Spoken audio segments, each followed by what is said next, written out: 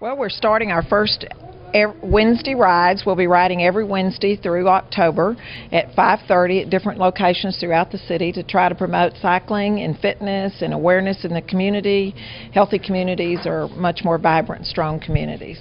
And we did some of these last year, and people would ride along with me and tell me about their neighborhood or tell me about their streets or their churches or what they saw from their council people and various and sundry things. It's really interesting what people will tell you on the bike because they get warmed up and they get loose and they, you know, you feel friendly and accessible and that's what we want. This is all about being real open and free with the citizens and letting them know we're here and and listening to their issues.